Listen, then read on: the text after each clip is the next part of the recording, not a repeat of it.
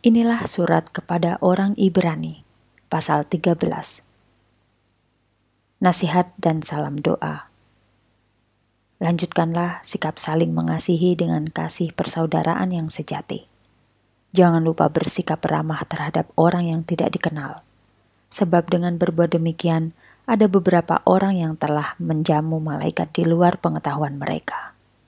Ingatlah akan orang-orang yang dipenjarakan ikut sertalah menanggung penderitaan mereka, seolah-olah saudara sendiri berada dalam penjara.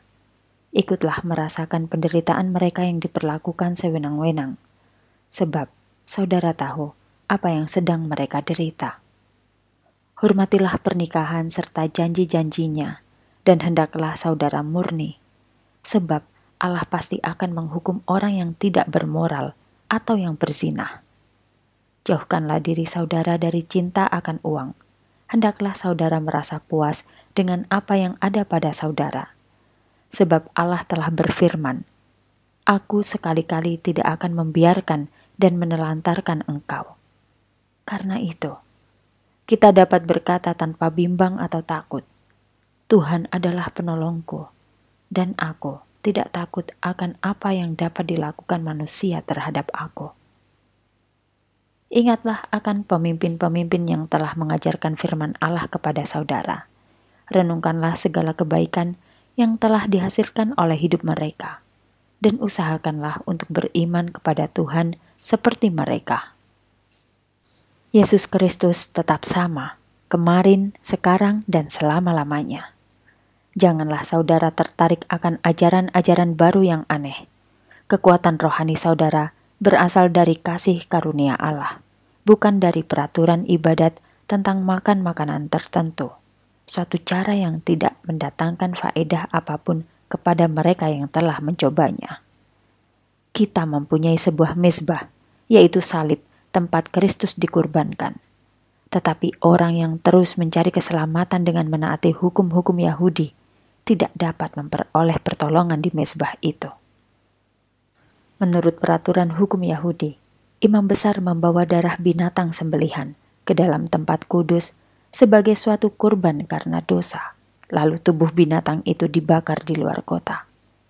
Itulah sebabnya Yesus menderita dan mati di luar kota, di mana darahnya menghapuskan dosa kita. Karena itu, marilah kita keluar dari kota menuju kepadanya. Artinya, keluar dari keduniaan dan rela dihinakan untuk menderita bersama dia di sana dan menanggung kehinaannya. Sebab dunia ini bukanlah tempat tinggal kita. Dengan penuh pengharapan kita menantikan tempat tinggal kita yang kekal di surga.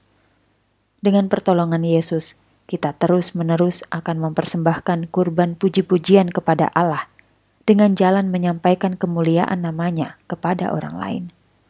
Janganlah lupa berbuat baik dan memberi bantuan kepada orang yang berkekurangan, sebab kurban-kurban demikian sangat menyukakan hati Allah.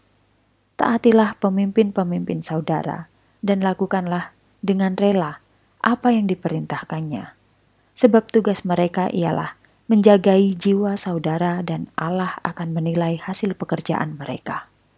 Usahakanlah supaya mereka dapat memberi laporan kepada Allah tentang saudara dengan sukacita bukan dengan duka cita. Sebab kalau demikian halnya, saudara juga akan menanggung akibatnya. Berdoalah untuk kami, sebab hati nurani kami bersih dan kami ingin supaya tetap demikian. Saya memerlukan doa saudara, terlebih-lebih sekarang ini, supaya saya dapat segera kembali kepada saudara. Moga-moga Allah damai sejahtera, yang telah membangkitkan Tuhan Yesus gembala agung segala domba dari antara orang mati, memperlengkapi saudara dengan segala hal yang saudara perlukan untuk melakukan kehendaknya, melalui darah perjanjian kekal di antara Allah dan saudara. Dan moga-moga melalui kuasa Kristus, ia mengerjakan di dalam saudara segala sesuatu yang menyukakan hatinya. Baginyalah kemuliaan untuk selama-lamanya. Amin. Saudara sekalian, dengarkanlah dengan sabar apa yang saya katakan dalam surat yang pendek ini. Saya ingin memberitahukan kepada saudara bahwa saudara kita, Timotius, sudah dibebaskan dari penjara. Bila dalam waktu yang dekat ini ia datang kemari, saya akan menyertai dia berkunjung kepada saudara. Sampaikanlah salam saya kepada semua pemimpin saudara dan segenap umat Kristen di sana. Saudara-saudara seiman dari Italia yang berada bersama saya di sini juga mengirimkan salam.